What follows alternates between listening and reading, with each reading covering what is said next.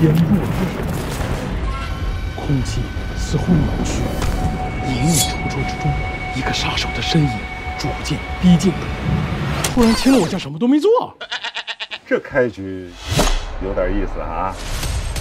既然给了我一次重生的机会，第一次结婚没什么经验。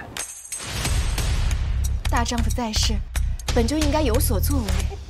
入赘到夫家，有些规矩是要守。自古以来，女人在家相夫教子才是正途。这规矩是你定的呀，所有女性都得听你的呀。我也不奢望你有什么建树。我们要反。哼，你只要老实本分，参加我们的活动，还真有可能不要钱。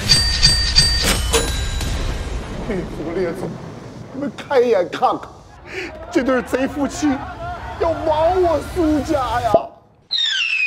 戏演的也差不多了，该收网抓贼了。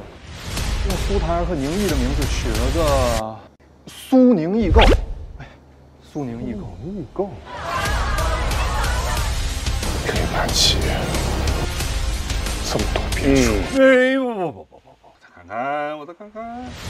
这背后不明不明的，便是他这个小小赘婿。大丈夫血手人。哎，我错了错了错了错了。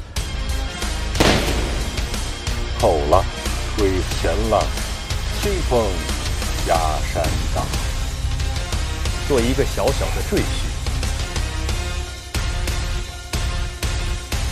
倒也心安理得。我有一个朋友，有一天，什么征兆都没有，忽然被他娘子亲了。宁兄被娘子亲了？我朋友，朋友。